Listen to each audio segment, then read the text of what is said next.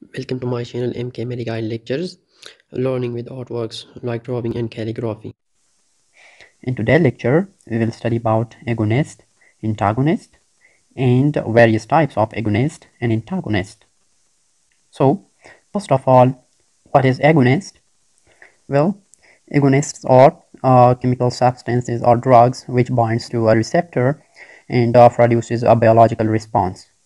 This response uh, depends upon the nature of drug, nature of receptor, and duration of uh, attachment of the drug with the receptor. Large number of chemical substances uh, shows effect by binding to receptors, which may be endogenous substances or uh, xenobiotics, like norepinephrine, acetylcholine, GABA, histamine, opioids, and serotonin. Besides this, sometimes the term ligand uh, is used for agonist, uh, which is a broader term than uh, agonist Ligand can be anything like atom, molecule, ion, or functional group uh, which binds to another chemical entity and forms a larger complex.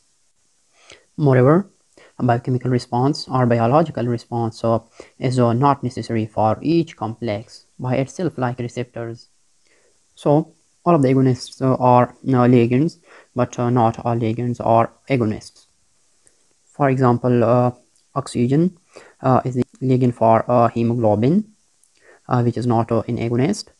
And another example is heavy metals which is a ligands for EDTA which are not agonist. And adrenaline uh, which is uh, an agonist as well as a ligand uh, at adrenergic receptors.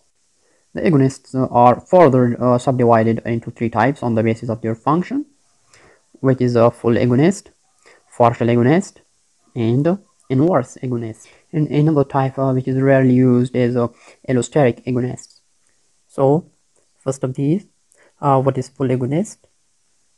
Well it is defined as uh, the drugs uh, which have affinity and uh, maximal intrinsic activity. Is called full agonist. Uh, when the drug binds to a receptor and produces a maximal response this drug is said to be a full agonist in general, a full agonist uh, has strong affinity for its receptor and uh, good efficacy.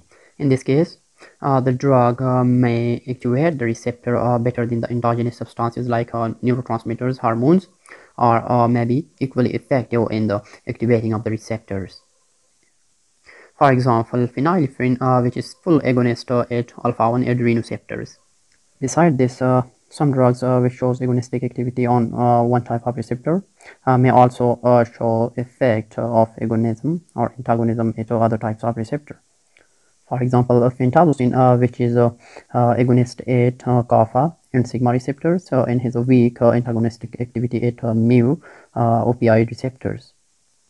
For graphical representation, we take the effect or response of the drug on y-axis and uh, dose or concentration of the drug on x-axis in this case uh, the drug will show its uh, full effect mean uh, maximum response.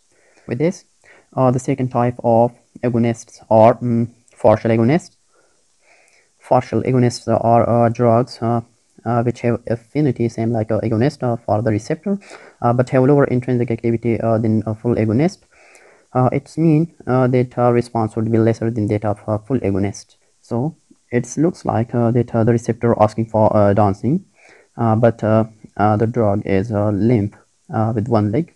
So he can't do it perfectly. So that's why the partial agonists are uh, having affinity for the drug uh, but cannot uh, activate the receptor as the full agonist do it. And subsequently the response would be less than that of the full agonist. Partial agonist or um, mm, agonist and antagonist at the same time uh, depending upon the presence of another agonist for example in the presence of uh, another agonist uh, this would be an antagonist. Uh, in the absence of uh, that uh, agonist it would be a partial agonist at the receptor. Due to this agonist and antagonist activity some drugs are very useful. For example aripiprazole which is partial agonist at selected dopamine receptors. Uh, extrapyramidal effects are lesser with it because it uh, acts as an antagonist in overactive pathways and uh, is an agonist in underactive pathways. Thus, it improves many symptoms of schizophrenia. If we consider uh, the first uh, graph for the full agonist at the same receptor, then the partial agonist effect would be like this. The third type of agonist is uh, inverse agonist. Generally, unbound receptors are uh, inactive and upon binding of agonist uh, becomes activated. But some receptors uh, converts from uh, inactive state to active state spontaneously uh, without the presence of an agonist. This activity of the receptor uh, is known as a constitutive activity. Now, the inverse agonists are those drugs which stabilize the receptor in inactive form and blocks its constitutive activity in this diagram uh, the receptor is uh, activated uh, uh which is shown as uh, the receptor is dancing uh, without any partner and the drug is sitting on the side and says to the receptor. Let's sit you're tired. And thus the inverse agonist succeeds to bring back the receptor into its inactive state.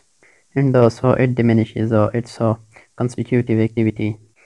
Opioid receptors uh, shows this kind of behavior for which uh, the inverse agonist is uh, naloxone and naltrexone, uh, which is also antagonists uh, at these receptors for opioids.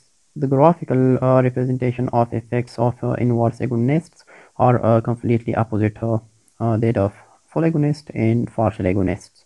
The last in rare types of agonist is allosteric modulators, which binds to the receptor other than the drug binding site and activate the receptor. Drugs like uh, barbiturates and uh, benzodiazepines shows this kind of activity.